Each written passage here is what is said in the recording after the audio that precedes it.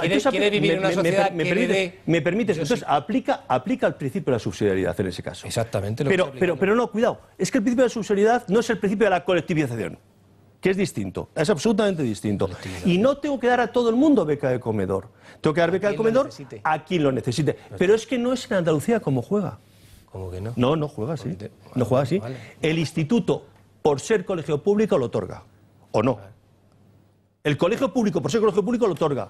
¿O no? Que no, que no, no. no, estás equivocado. El que está equivocado Bueno. Oscar, ahí Bueno, estás no, absolutamente yo equivocado. no, yo no quería decirte, decir, mira, te puedo decir, para que, para que veas, estás equivocado. Andalucía no es la... No, es que no, Andalucía Oscar, no es la comunidad autónoma primero que tiene más funcionarios. Oscar, Oscar, no, no. Andalucía... No. no, es que yo- Porcentaje- Es que, yo vuelvo a los datos, no vuelvo a las opiniones. porcentaje. Andalucía, no, en porcentaje no. Andalucía no es la comunidad autónoma que más funcionarios tiene. Aquí tiene la estadística, después te- que no quería yo entrar tampoco en ese, ese nivel de detalle. Vuelvo a lo mismo. Si es que ¿Me voy a las elecciones, que era el tema ¿Me permites, en relación al número de provincias, el mayor? Y densidad de provincias, el mayor. Te lo, lo, lo vemos, Vamos a seguir avanzando, Santiago. Bueno, yo quiero hacer una referencia también al, al asunto de los subsidios y de las prestaciones por desempleo a la que se refería Begoña. Yo creo que Begoña eh, tiene razón. Y yo creo que las prestaciones sociales y los subsidios son absolutamente necesarios para las personas que están en riesgo de exclusión social. Y de la misma forma creo que la inmensa mayoría de las personas que reciben algún tipo de prestación lo hacen porque lo necesitan y, por- y deseando salir de esa situación. Pero creo que no se puede negar que hay una minoría de personas que están recibiendo subsidios, que están recibiendo prestaciones, españoles o extranjeros, y que se acomodan a esa situación. Y yo sí he recibido el subsidio por desempleo. Yo he sufrido un desahucio. Lo digo con toda la sensibilidad del mundo. Y yo he querido salir de esa situación.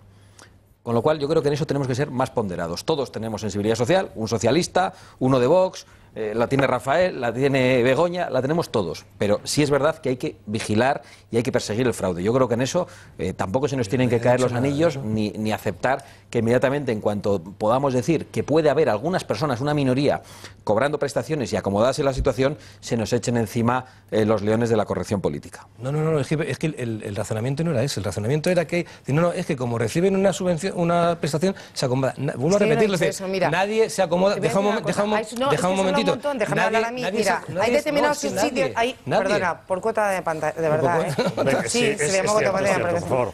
Mira, hay determinados subsidios y además que los conozco profundamente. Y, y yo, tú ahora has hablado a más trabajadores. Yo he hablado con más trabajadores por el tipo de trabajo que he realizado. Bien, hay determinados subsidios que son fundamentales. Concretamente, el subsidio para mayores de 55 años y el subsidio por cargas familiares.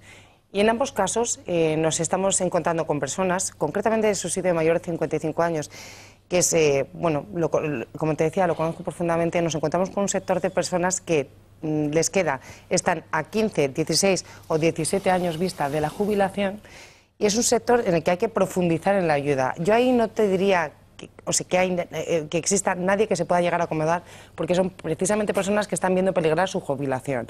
Es más, yo si pudiese, ese, subsidio no solo lo extendería en el tiempo, sino que lo ampliarían. Pero para poder hacer eso, tienes que vigilar otros muchos subsidios y otras muchas prestaciones que no se están cobrando con la misma decencia. Y eso ocurre a día de hoy. Mira, eh, Existen muchas situaciones y hay que reconocer que el Servicio Público de Empleo de un tiempo a esta parte, te digo, unos ocho meses se han puesto las pilas y lo están vigilando muy de cerca, eh, en las que es un hecho, existe la economía sumergida y eh, digamos que es un poco también economía de subsistencia, vamos a reconocerlo.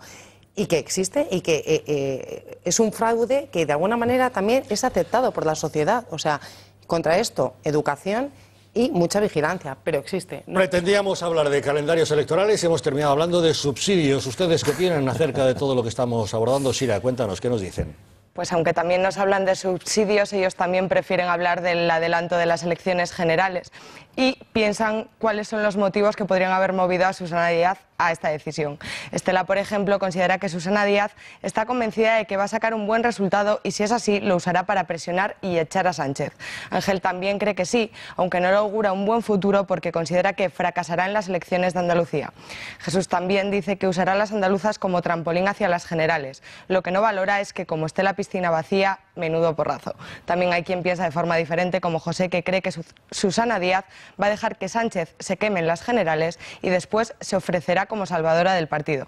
Finalmente, Miguel considera que las adelanta porque en el PP no hay nadie. Podemos se la puede jugar e Izquierda Unida está desaparecido.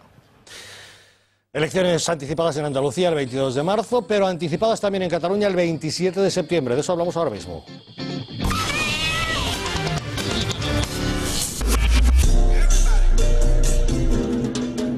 Now, everybody.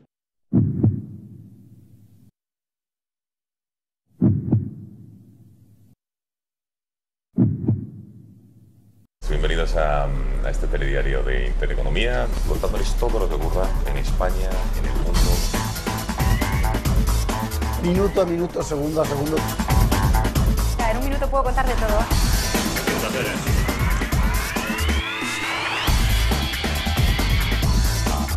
Gaopi, Fasana, Burto, Puyol.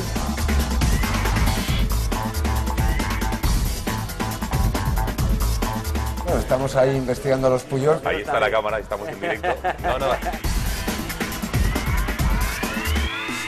Jefe, ¿qué tal? Que se ha muerto Botín. Lo he visto esta mañana así, con pesar además. Hay 6 millones de paisanos en la cola del INEN. Desde aquí le contamos minuto a minuto, segundo a segundo, todo lo que pasa en el mundo y se lo interpretamos, analizamos, comentamos. Nosotros volvemos mañana. Esparta, Gonzalo Vans, Beatriz Rojo, si Dios quiere. Gracias.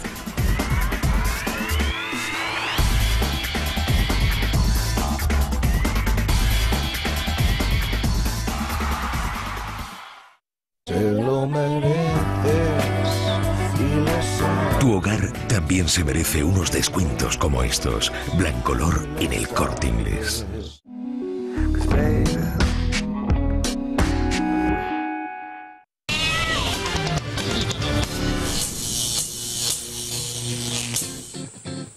Hoy en el Gato al Agua estamos hablando de calendarios electorales, de calendarios adelantados de elecciones. Nos hemos referido a las andaluzas adelantadas para el 22 de marzo. Vamos a las catalanas, adelantadas también por Artur Mas para el 27 de septiembre. Aparte de todos los elementos comunes al resto de elecciones de este año electoral que tenemos por delante, en el caso de Cataluña hay un elemento fundamental, que es el del nacionalismo. Artur Mas quiere presentar estas elecciones como un plebiscito, autonomía o independencia sí, independencia no. Eso que ellos llaman derecho a decidir. Ante la aparición de nuevas fuerzas políticas como Podemos, al igual que en otras comunidades autónomas, habrá que ver qué es lo que ocurre. Pero en el caso de Cataluña la gran pregunta es, ¿qué pasa con Podemos? ¿Está a favor de ese derecho a decidir, como llaman? ¿Está a favor de la independencia de Cataluña? No lo está.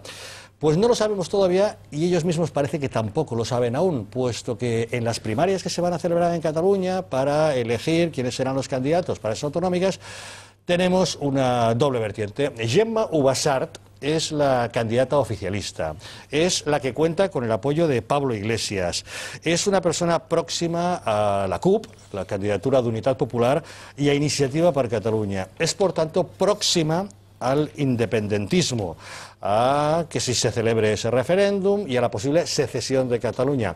Y es la favorita de Pablo Iglesias, con lo cual podríamos pensar que Podemos es, por tanto, una opción independentista en Cataluña. Pero es que no es la única, porque a las primarias en Cataluña se va a presentar otra candidatura que se llama Podemos Unidos. Lo dice todo en el nombre. Está encabezado por Enrique Martínez. Ahí le ven, nos ha acompañado aquí en el gato, Enrique Martínez. Y él prefiere aparcar el debate territorial para priorizar viejas proclamas de la izquierda, como la vivienda digna, la sanidad, la educación pública o el empleo de calidad. En cualquier caso, la carrera por encabezar Podemos en Cataluña finalizará entre los días 13 y 15 de febrero.